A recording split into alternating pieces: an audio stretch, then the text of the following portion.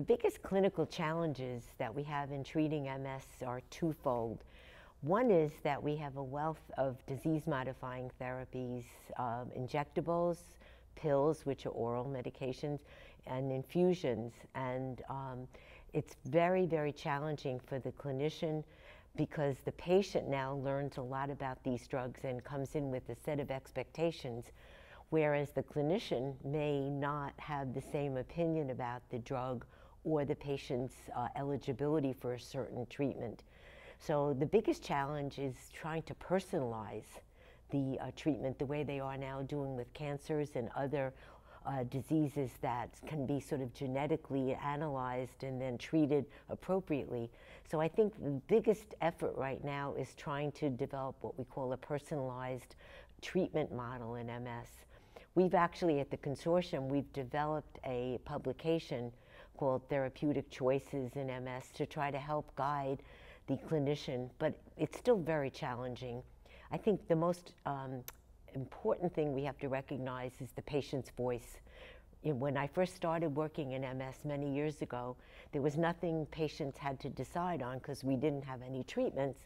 And today there are so many treatments and they learn about them online or from their friends or from some media, social media they come in asking for it and it might not be the most appropriate drug for them and or their insurance might not cover it. So those are the challenges we face. The patient's expectations, the patient's uh, desire to become involved in the decision-making process.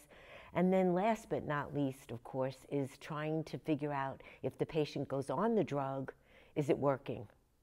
And the second therapeutic clinical challenge that we have is managing symptoms. You know, uh, over the years, at the beginning of the, you know, or the late part of the 20th century, we, we took care of a lot of symptomatic management like bladder and bowel and pain and spasticity. Today, there's such a focus on modifying the disease with the DMTs that we have to sort of back off a little bit and say, how are you feeling? You know, are you having symptoms? Or is your bladder bothering you? Are you having fatigue? And so that's the second challenge to try to get clinicians to step back and take the time to see what the quality of life is for each person. And it's not just get them on an order, a disease modifying therapy, but try to develop a total clinical package individualized for each patient.